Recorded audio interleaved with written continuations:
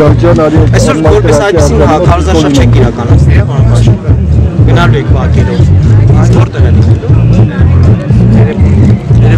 արձագանքները ինչպեսին էին Փաշինյան։ Ես ճիշտ ասած արձագանքներին չեմ հետևել։ Facebook-ում նույնիսկ ձեր կողմնակիցներն ասում են, որ ով էր այդ անհեթեթ գաղափարի հեղինակը։ Ուրեմն Facebook-ի մեր կողմնակիցներին խնդրում եմ անհեթեթ մեկնաբանություններով հանդես չգալ։ նշել։ Այո, դա մարդիկ ըստ էության ասում են, որ դա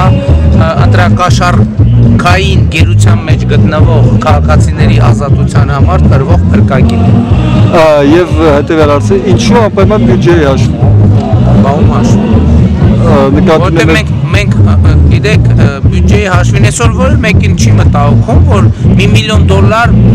բաներ իրենց մեքենաների մեջ են լցնում ճռիկներ անում քաղաքում ոչ մեկին չի մտահոգում որ մետրոյին մետրոյին զրկում են ուղևորահոսքից հետո ասում են մետրոն վնասով է աշխատում եկեք 2.6 միլիարդ սուբսիդիա տանք ոչ մեկին չի հետաքրում որ այս նստարանները 160 հազար դրամով են գնում մի հատը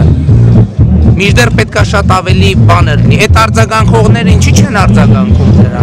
Որովհետեւ մեկին չի հետաքրում, որ 2000 մարդ աշխատում Երևանի քաղաքապետանի համակարգում, աշխատավարձերը ամենամեծ ծախսային բյուջեն է, ու դրանց 30%-ը ընտրակաշարքի ցուցակ անողներն են։ Թեպետ դուք պատասխանեցիք ըստ էության հարցին, բայց Շարմազանով Էդուարդը հարցում է Նիկոլ Փաշինյանը որտեղից է գտնելու այդ գումարները, որ տա 15000 դրամ։ Սամվել Ալեքսանյանի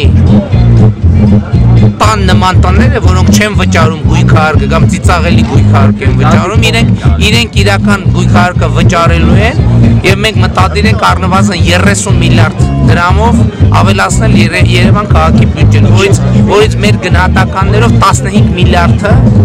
գույքարկի թեր հավաքագրումները վերականգնելու։ Դուք ի՞նչ եք կարծում, ձեզ խոստում